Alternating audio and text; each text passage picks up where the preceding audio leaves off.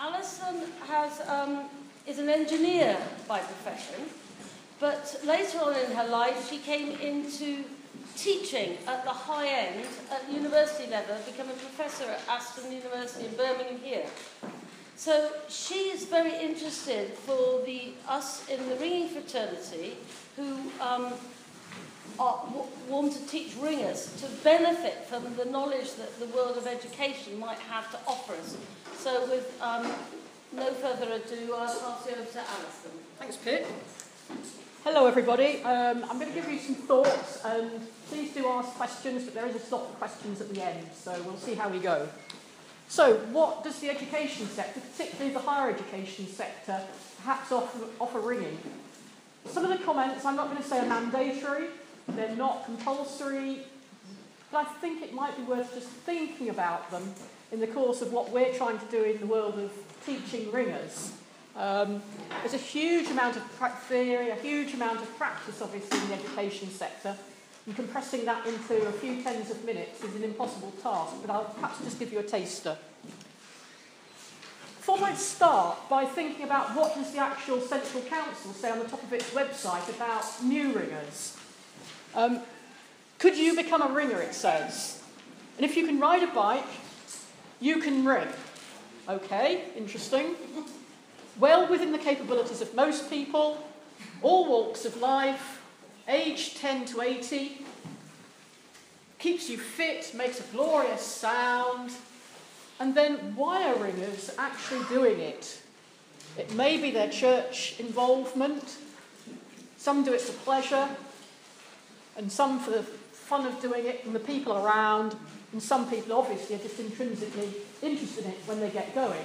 Um, but that's probably not the motivation at the start. But it's worth bearing those comments in mind. I think they're quite interesting set of comments.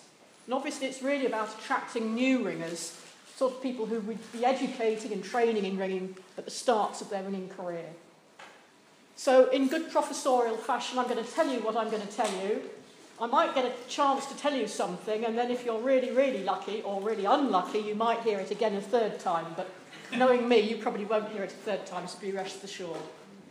So, thinking about our new ringers, I want to touch on 21st society because the world we live in now is very different from previous generations. And I know that a lot of ringers and ringing teachers have had a lot of experience in life. I won't be ageist, um, but society is changing and the tools that we use in society. And just these things, we're not up with chalkboards anymore. What about their motivation? We've touched on that a little bit, come back to that. And then into the education bit, which is really why I'm here. And then how we meet the expectations of the ringers, and perhaps some provocative thoughts about ringing and what we can learn in ringing from what the education sector does. So, first of all, obviously, and one of the things that we're all thinking about is how we can attract new ringers, but I'm not going to touch on that today. The education sector is equally thinking about that, but I think that's a talk, or several talks in its own right. And I'm going to really concentrate on the early stages of ringing, handling bells, but of course, advancing and then thinking about lapsed ringers and bringing them back um, is really could be more talks on top, but I'm going to concentrate on the new ringers and just touch on the others a little bit later. so if you've got new ringers, they're thinking about learning ringing, I'm sorry about the quality of this, what do they do nowadays? They go onto Google, and I just Googled bell ringer, and that's what comes up as one of the key pictures. Well, that's what came up in January. Okay, fine. That's what bell ringing's about if you go onto Wikipedia. And that's what 99% of youngsters will do nowadays. I'm going to be a bell ringer. That sort of picture and image might still be around. That's from a lovely painting down in Fowey in Cornwall. Or, of course, the inevitable Christmas card. They might have gone across the channel to where they have some nice carillons and you can actually see the bells up at the top of the tower. Um, some of us from the Central Council went there on a trip in the uh, May period last year. Or they might even have seen something like that. If they've been to a carillon, and there are a few in this country, that's actually in Southern Ireland a few years ago, they might have actually heard a carillon. So, what sort of music? We've said on the Central Council slide at the start, they might like the sound, but are they going to be expecting tunes, as you would do, from a carillon? Or actually, it's probably more like what we would, as ringers, would expect to hear from a tower, something like that, um, down in Evesham. But in reality, as ringers, what they're probably going to see, first of all, are a bunch of people standing around like that. And what are they hearing and what are they seeing and how does that compare with their expectations? And by the way, the church is over there. This is across the churchyard, if any of you have been to St David's. So that's the sort of image of what ringing is going to be about for newcomers. And let's just think about their society that they live in, if they're at school or they work. Huge online availability of data and information. As I've already mentioned, they go off to Wikipedia to find out about things. Typically, youngsters, very short attention span. And anyone that watches television, media, it's instant makeover. Anyone can have a garden in five minutes. Anyone can have an improved house in five minutes. Anyone can dance, cook, sing. Gareth Malone will have you singing in no time. People who didn't think they could sing or cook or dance, it's all feasible very quickly. And you only have to do a little bit of it, and you're a cult hero, probably up in the media, in spotlights, earning stacks of money if you're in that position. And equally, and I'm very familiar with this, anything that's vaguely technical, numerical, scientific, engineering equals difficult. when you can see that, hear that on quiz shows, on radio, on television, anything out of the periodic table. What is C in a difficult science question? Oh, it might be chlorine. Oh, sorry, but it was a difficult question. No, sorry. And bell ringing does have that sort of image of being vaguely technical when people start to see it. so, coming on to the education sector in the 21st century. Education now recognises that it's not just the next step, but education goes on through life, for work, for leisure, and you're gaining skills, gaining experience. It's not just a one off when you're at school. Gain the skills and use those skills through 30, 40, 50 years. Students, particularly in the higher education sector, compared with when with all due respect, most of us were at school or thinking about higher education or were in higher education, the students are still individuals, much more individual in many respects, but they are very numerous. Huge, huge numbers. Widely variable, very diverse backgrounds, very different experiences and discipline backgrounds, huge availability of information, and a critical thing, I think, for ringing, and it's what we see in engineering and science in the university sector, manual dexterity and practical skills are vastly less than particularly boys, but even girls would have had when I went to university. Picking up saws and hammers or anything mechanical, never, never done it, and they're coming into engineering programs. And that's an issue for rings, just manual dexterity manually doing things, very different way of thinking and doing things nowadays. Their thumbs are fantastic. my, my thumbs don't do what children's thumbs do, but anything more than that, no. And it's very much the image of the students being customers. We're on, we're, if you're on a train nowadays, you're a customer, you're not a passenger. You're a customer in education as well. And for a degree, they're paying typically £9,000 a year. And anything cheaper is probably seen as lower quality. Um, it's quite an interesting concept. It's capped at 9,000 by the government, but overseas, of course, prices are much higher in some parts of the world, like the US. But it's an interesting thing, bearing in mind what Pip was saying earlier on about subscriptions to the organisation, the, association. Um, quality, in many respects, equates to price or price to quality. Facilities in HE are now pretty good. The days of creaky blackboards, um, creaky desks that scratched you, splintered, etc., etc., pretty well gone. And also, students expect their material and their teachers even to be available 24 7 all day, all weekend, emails, web material, teaching material, videoed, recorded. It's not just when they come and sit in the lecture theatre and hear people talk.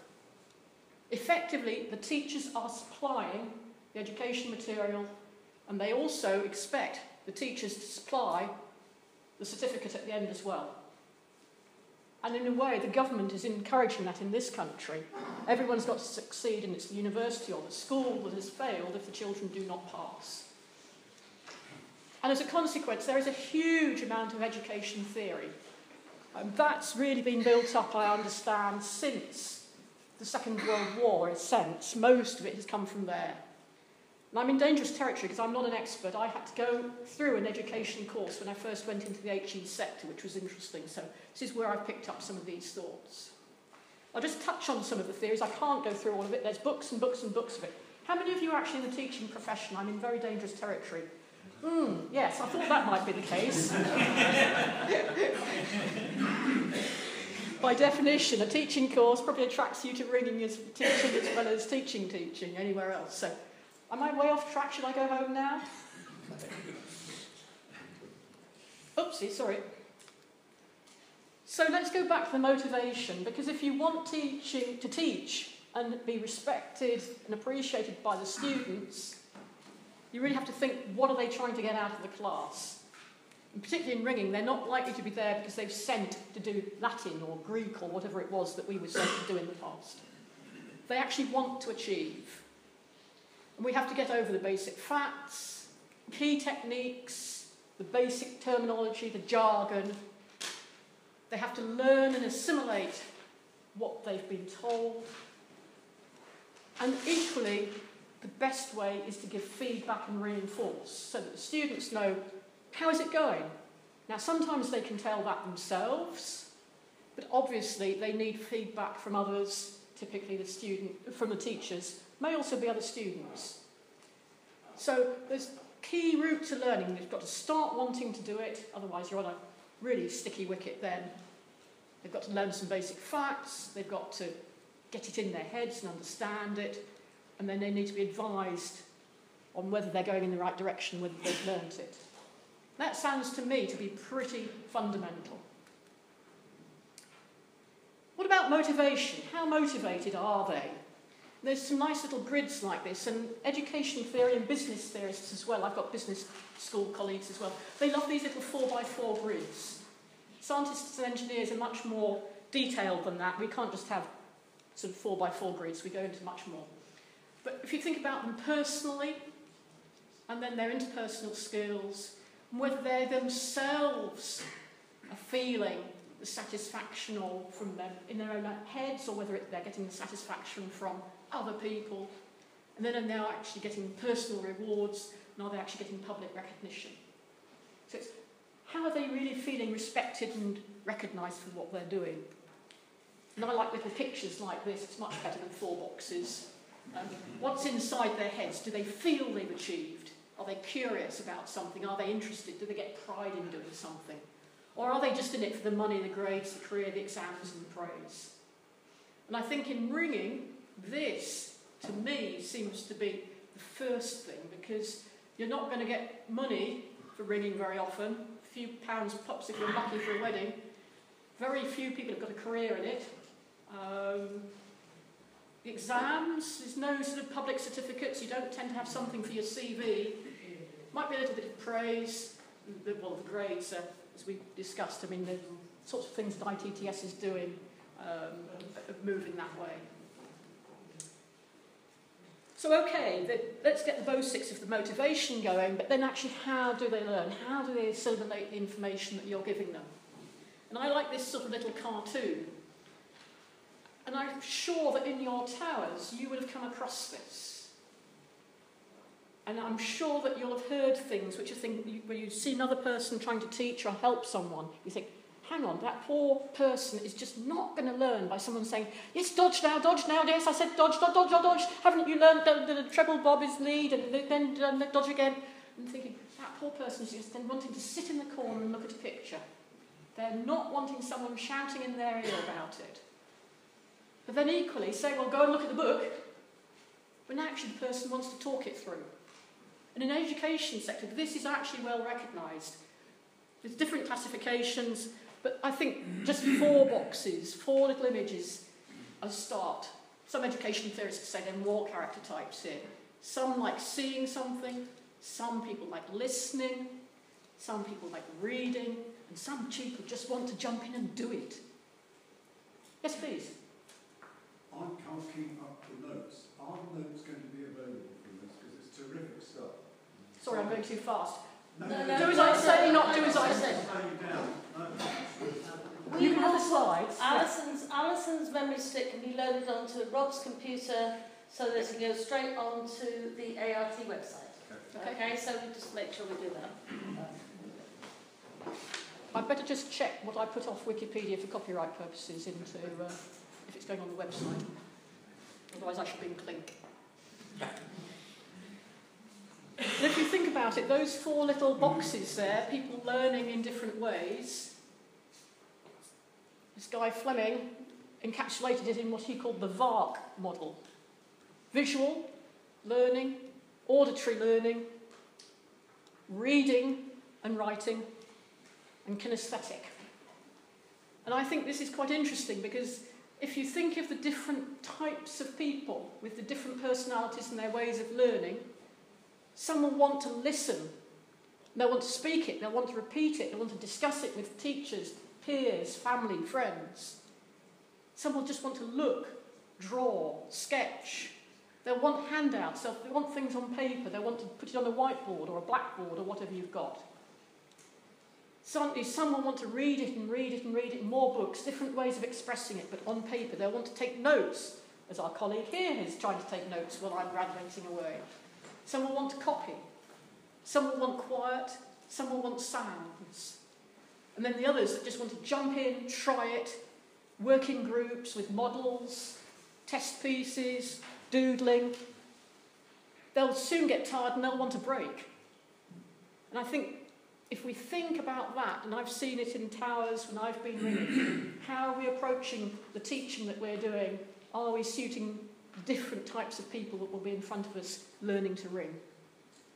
There are theories about age and gender variance, all those sorts of things, but I haven't got time to go into all that today. It's another thing to think about.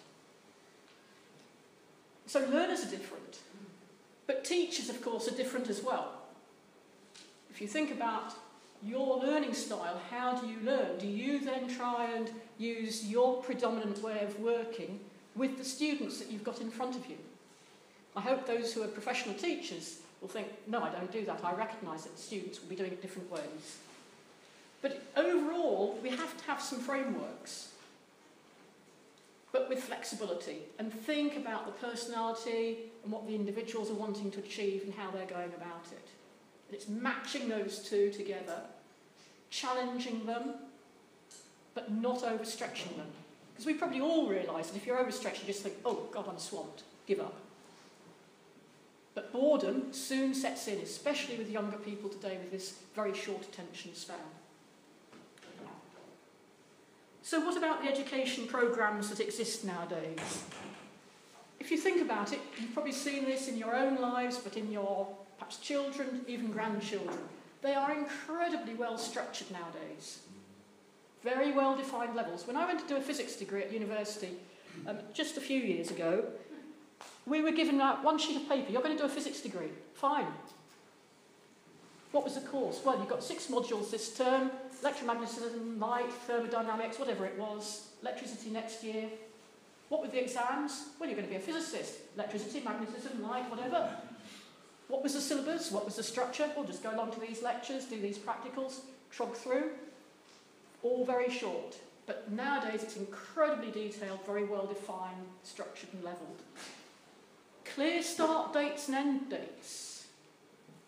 What are you doing when? What's the schedule within the course? What's the timetable? How is it going to be assessed?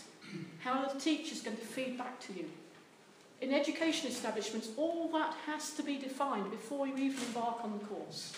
Incredibly detailed. All the books, handouts, material online, apps on phones. That's what students are into nowadays. Very clear pass-fail criteria, what certificates are coming, what awards are coming. And that's the sort of structure that particularly younger people will have been trained through at school, will have been trained through if they've gone to university or college, and that in an education environment, if they think they're going to come and learn something like ringing, they will probably be expecting some sort of structure like that. And they'll expect to succeed. They'll want the certificate, the presentation at the end. That's graduation down the road in Birmingham. So, the environment where they're actually learning nowadays, it's big classes, particularly in the higher education system, it can be hundreds of students in a great hall, in a lecture theatre. Maybe tens, tutorials. If you're still in Oxbridge in colleges, you might have a few one-to-ones or one-to-twos, but most universities, colleges, education establishments, the numbers are large. Teachers certainly have to be qualified. Modular structure the syllabus And all the lessons, lectures, whatever, is very well planned and what the educationalists call intended outcomes. What are you intending to do? What's the outcome in this particular lesson, this particular module? What are you intending to achieve? What the students expect to do? What the teachers expect the students to have achieved? And the students have to be very clear when they have succeeded quite interesting, very different change and very much different from when many of us would have been at university or at school. And I just put this comment in because supplementary one-to-one coaching and support one to -one, which is often what happens in ringing, is very, very rare or it's at a price. We still do have conventional lecture theatres, big great halls and such like, seating 3, 4, 500 very little chalk. I haven't seen any chalk since I've been at Aston, um, five years or so. But very more, much more diverse teaching environments nowadays, material on the web, recordings. All students expect to get their lectures recorded so that we can have them online afterwards. Um, I'm wandering around, I've just remembered that you're doing this here and I'm going to be out of shot. Um, they want variety, they want hands on, they want demos, they want to be excited. It's almost as if they're at a theme park all day. They want something to be excited, enthused, and go home having had fun, they say. Very, very little note taking. It's an interesting one. And this is more like the sort of environment where they're doing projects in a practical environment. Maybe computer-based learning, may not be serried ranks like that in an actual formal classroom, but on their own, with their own computers, their own laptops, whatever. Coming back to a bit more theory then about how we teach and what people have to learn. This fellow Biggs has done a huge amount, written loads and loads of textbooks, pops up in the education sector. I'm sure some of you in this room must have encountered work by Biggs. But he's really sort of identified two sorts of knowledge, and it's self evident, really. The basic facts, the jargon, the rules of the subject. It's learned in lectures, it's reading, it's note taking, you might have to recite it as appropriate to the discipline. And it's typically assessed maybe by a question and answer, multiple choice, and repeating things to others. But it's the absolute basics. And it's all the sort of thing that we're familiar with in ringing, like jargon. What's surprise? What's even the mechanics of the bell, what's with Sally, what's what, all the bits and pieces we have to think about.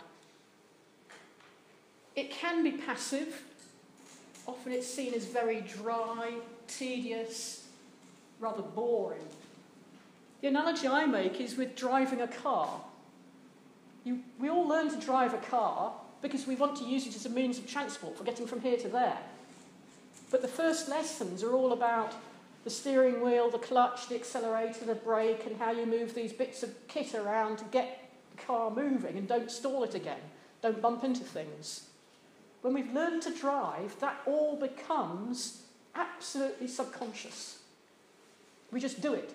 And we're more concerned about what that bus is doing over there, what that bike's doing, what that lorry's doing, and where are we going? What are the signposts? If we're going from Birmingham to Edinburgh, what's the map? What's the route? And we might have a sat nav shouting us in the corner, but hang on, we're suddenly going south again. The sun's changed direction. No, the sun's not changed direction. I've changed direction. What's going on? That's what's worrying you. So these the sort of basic facts that you have to learn. Probably become subconscious later on, but it's what can be in many disciplines very putting off, very off-putting for many, many students. It's boring, it's tedious, it doesn't really seem to sink in without a lot of work. But the functioning knowledge, as Biggs called it, it's building on those foundations. And it's really required, and he quoted in his, some of his texts that it's the essential thing that you actually expect a surgeon to be able to do it, not just know the facts. Uh, I think that's a good example. And it has to be learned from photos, from demos, from practicing. And then it's assessed by showing someone and actually making sure that you can do it. You've mended something, you've made something, you've actually demonstrated your skill. It's typically active, it's not the passive. And in student terms, it's often seen as exciting, but can be risky, thinking back to our surgeons. I think there's a good analogy with ringing there, actually. You don't do ringing without getting to do the practice, really. Certainly, tower bell ringing. Um, it can be exciting, it can be fun, but if you don't get it right, it can be risky as well. Another bit of theory deep and shallow learning, and this is sort of related to the other points. The shallow can be repetitive. Can, you can learn a poem, you can go to your lesson, recite it, tick. Next day, can you remember that poem? No? You've got it in your short term shallow memory, as they called it. But if you actually learn a poem, for example, I'm, I'm taking it from the education literature here, put it in context, the meaning, the poet, their background, when they lived, what was going on in the world around them at that time. It takes more time, it takes more teaching involvement, and it probably needs challenging and probing and questioning to really assimilate the information. But it really does sink in. You ask someone about that poem or that poet in a few weeks' time or a few years' time, they remember the facts, they remember the context, and probably associated with that, they remember the actual poem itself, or at least chunks of it. So that's deeper learning. And again, I think that's got a lot of things about ringing. Just going along to an odd practice, hearing someone chant a through again, treble bob, lead, snap, dodge, treble bob in three, four, on up to back, da da da da. You might learn to recite it, but can you actually put it in practice next week? Now, this chap Bloom, another of these educational theorists, you can just think about building your knowledge. Yes, just learning, reciting, recalling things at the bottom, but you go on, he was proposing, through comprehending it, applying it, doing the analysis, doing the synthesis, and evaluating it. Many of you have probably thought and heard that people say, to learn properly, you have to teach it to someone else. Somebody's nodding here in the front row. And effectively, that's what you're doing. You're doing the judging, you're rating, you're ranking. And I'm sure many of you, as you've come into using the ITTS program, you've thought about teaching someone else. You've actually learned something yourself. And that's the sort of thing you're going up this hierarchy, up the pyramid. And it's drawn like this because obviously there's more people have the basics, and as you go up, fewer and fewer people typically have that higher level of knowledge. Now, this fellow, David Kolb, said actually this is all cyclic. Because you can start, some people want to start by doing things, then watching it, some people want to think about it, and you can go around this loop. And the more you do, the more you learn, the more you realise you don't know, and you keep going around this loop. It's another of these little four by four grids drawn in a slightly different way. Educational theorists and educational teachers will spend a whole lesson talking about this and give whole courses on this sort of thing, but I'm really skating past it. The other thing, and again, I think this is the thing that's changed since my school days and my own university days, it's not just the teacher like I am teaching to you, scouting to you, sitting there in serried ranks and chairs. The teacher sets the framework, and it's more often now thinking about the context of the learner. What is their previous experience and their knowledge? And exploiting the fact, particularly in larger groups, that the peers around can have lots of experience that they can bring to bear themselves. People who've done different things, certainly in ringing, you might think someone knows a bit about music, someone knows a bit about engineering.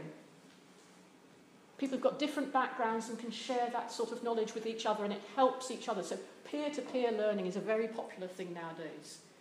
And that, therefore, that learning can be formal and informal. Going to the pub after ringing, how much time is spent by the ringing geeks talking about what they've just been thinking about and what they're going to do next week in their peal, and hearing all that is still learning in many respects in that sort of forum. And the teachers can learn from the learners, in fact, what they got stuck with, other ways that they've thought about learning. Can be dangerous because there can be misconceptions, but can go both ways. In the education sector, there's effectively two forms of feedback now, and I thought this was really interesting when I started learning about this as a learner rather than just in everyday life. In ringing, we often shouting at people, and some students in ringing actually get fed up and say, I don't like being shouted back by that guy. I don't want to be shouted at. I want to know what I've done wrong. I'm just being told what's wrong and not how I don't understand what I've got to do differently. And what is called formative feedback is that advice, that guidance. Somebody who did something wrong, but actually, what do they do right? How do they change it? How do they think about it? And certainly not to frighten people. There is, of course, the other form of feedback, which is what's called summative feedback. It's a horrible word, I think, um, but it's actually that formal assessment. And in the education sector, you can't consider what you've been given in advice, say in a lesson or a lecture during the term, as feedback. You can't use that as information to assess people later on. You have to have the formal assessments against the set criteria when you're marking students' work. And it is two way because we also get feedback from students about the learning. And I think we've got tick sheets for you to fill in about my presentation here, so you're going to do that as well. So, are we meeting the motives and the expectations of the students initially, which is what we're really thinking about today, but also in their later career? so, what were their motives? Let's just go back to what we had on that first central council side. Some of them was wanting to do it as a social activity. Some of them were literally wanting to do it as a service to society and their church. And some people just wanted to come along because it was wacky, it was different. They'd heard it, wanted to take part. Unlike something like football, I don't think many ringers will come along because it's the herd mentality. They all want to do it because all their friends are doing it. So it really has to be something wacky, something different that they're coming along for. So what is their starting point? I mentioned that earlier on. Wide range of ages, huge difference in educational levels, Many of them will have had different educational experiences. Some will be expecting of traditional chalk and talk. Some will expect a different mix of doing things, different styles.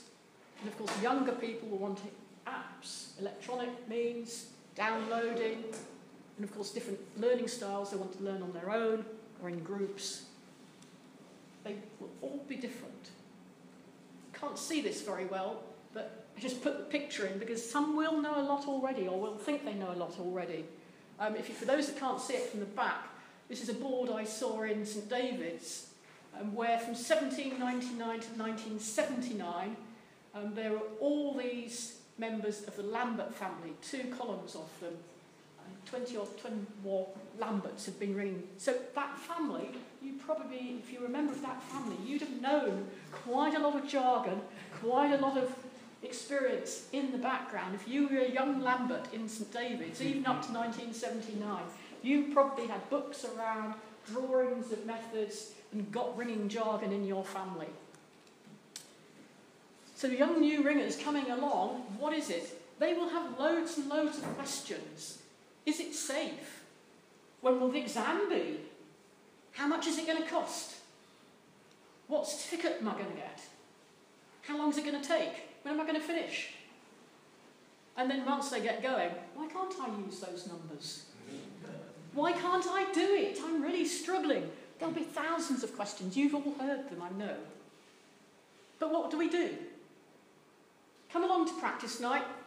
I know ITTS wouldn't people do people wouldn't do this nowadays, but what perhaps shall I say traditionally did we do? And what still happens in many places, we just go up to the tower and say, come along, have a go. What sort of introduction have we given them? Oh, go and learn something. And there's people learning stuff, and we, we throw that in front of them. This is second night. Okay. Um, uh, what do I do with that, please? I mean, just a slight anecdote. I remember when I was going to secondary school, 11 year old, it was when we sat in different classrooms, probably many of you did this for your different subjects. So you as a new 11 year old went into the maths room and saw all this sort of stuff on the blackboard, you thought, I'm never going to be able to do that. What does it mean? But of course, that was the upper sixth class that had been in there since morning before you arrived. It wasn't your stuff. But I remember I was absolutely paranoid that I'd never ever be able to learn that stuff. I did do A level maths in the end, and two years at university, so I sort of won over, but struggled. But that's what we do to our young ringers, or any ringers who are coming in to learn. So, the meat of the meeting, I'm running over time, aren't I? No, no, no, no, What about ringing? And this is where I'm going to be a bit provocative, but hopefully provoke some thoughts in doing so. What is our ringing curriculum? We're doing a lot about the mechanics of bell handling, but I've put down a whole list of things when I was preparing these slides that we could also consider as a curriculum for ringing. Moving on to call changes, method ringing, conducting. Yeah, we probably all think about that. Advanced method ringing, composing, teaching ringers and teaching teachers. Yeah, well, that's what we're here for today. Maintenance. Then how do we teach and advise and guide our young ringers, our new ringers, about the culture around ringing? The guilds, the associations, all the other things that can go on, carillons, foundries, the mechanics handbells, tunes, and changes.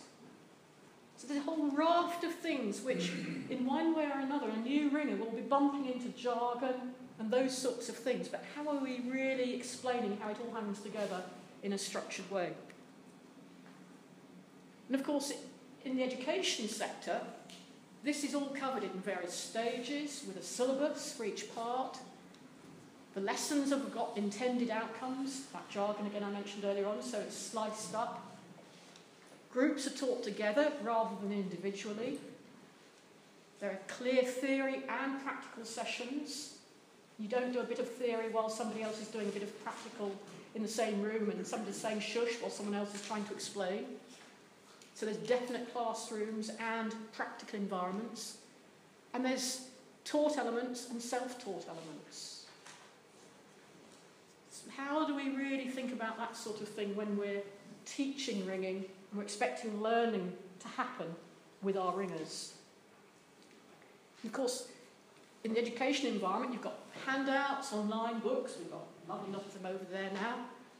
We encourage note taking, we try and avoid rote learning, but we help students through that. We expect a lot of peer interaction nowadays even to the extent of marking each other's work and assessing and getting involved, getting active. So they see it as fun.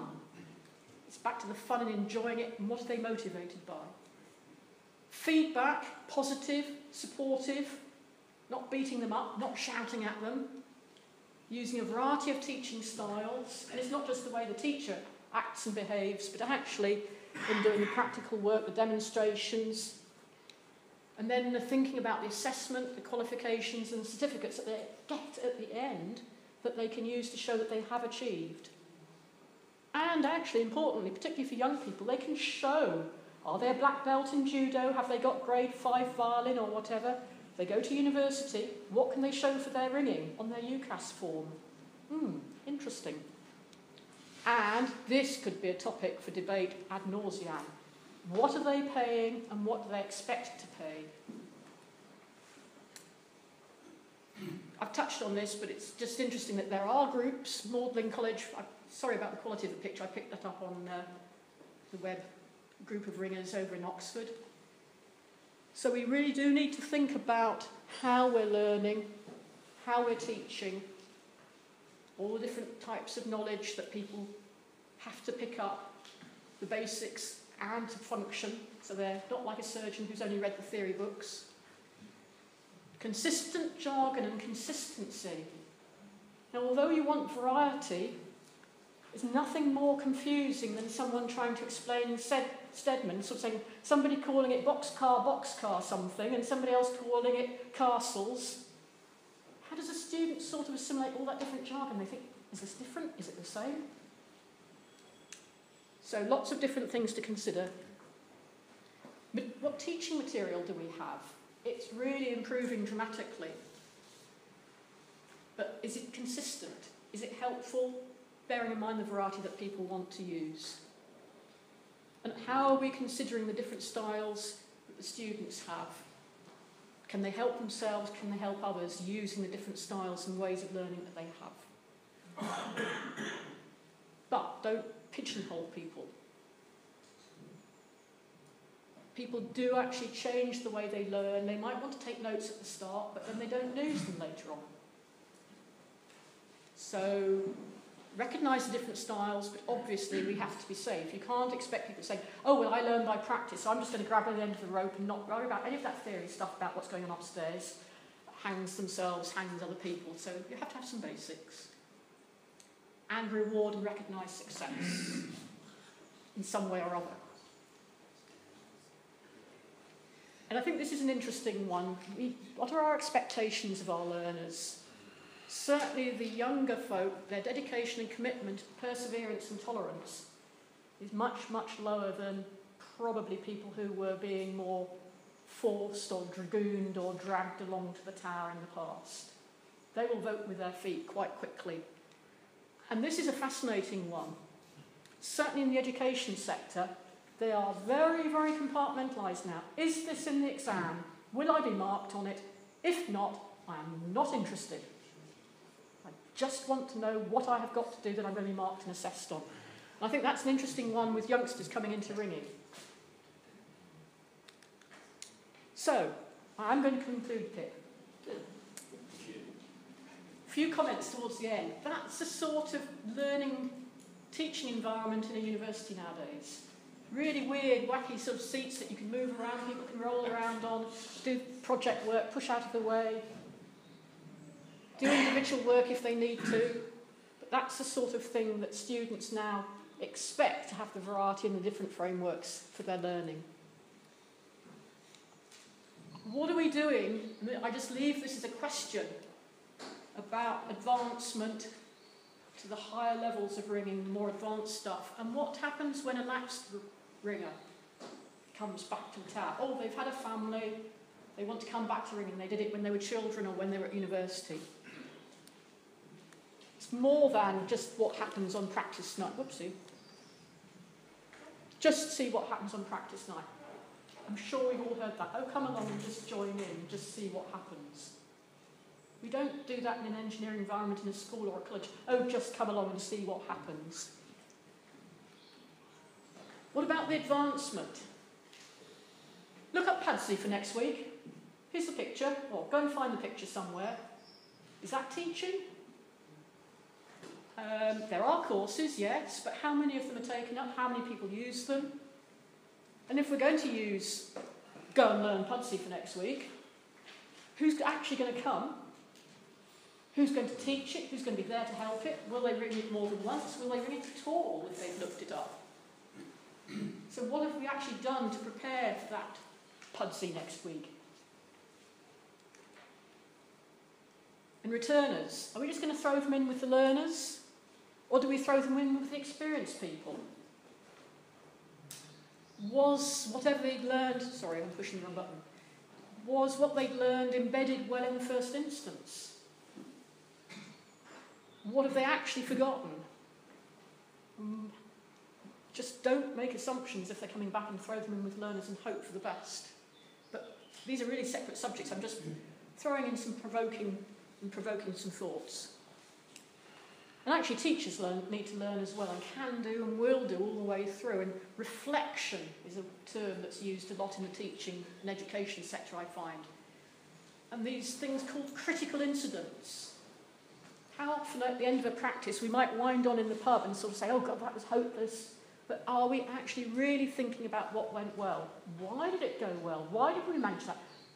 Surprise, touch, spliced all of a sudden when we didn't think we could even bring the basic methods. Or more often, it's probably the other way. We thought we'd bring the touch of supplies, but actually couldn't even get the Cambridge going to start with.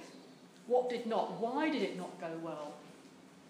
And then from the teacher's point of view, I'm being told to shut up, aren't I? What questions are being asked at the next session? You can learn a huge amount at the next session. If someone's asking a question, what was that fluffy bit called? Okay, they haven't even remembered what the Sally was called. So let's think about it. What's been forgotten? So, is it more than ITTS? Pip's been talking about how ITTS is growing, so that's great. I'm not going to continue on that. And just a few more provocative things at the end here. How do we spot and nurture talent? My brother likes playing rugger, and he sort of says, God, he's a, I can see he's a rugger player. That youngster over there, he'll make a good rugger player. I'm far too short to play basketball. I'd have to be six foot six. So, what defines a potential ringer? How do we spot the talent? I mean, sometimes you hear these comments like, he, she, it's just the natural. But what have we spotted and how are we going to spot the real talent out there when we're looking for ringers and say, what attributes? God, I'm must go and speak to him. He's really a really good ringer. In the same way as you might say, I really need him my rugger team. I really need them to play basketball. God, she's, she's six foot six. She'd make a really good member of the basketball team. So, think about what motivates your ringers to ring Consider what it's costing and the outcomes that we're expecting.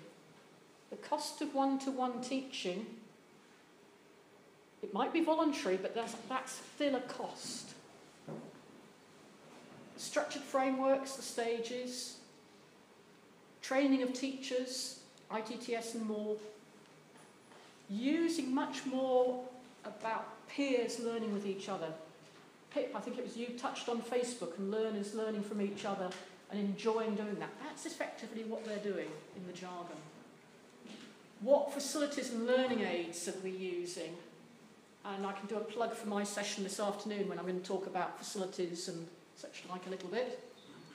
what are the outcomes, the awards, the certificates, and what's the external visibility and recognition for what we do do? How does the public see it? And I will finish there. Thank you very much, Pip. Sorry to say.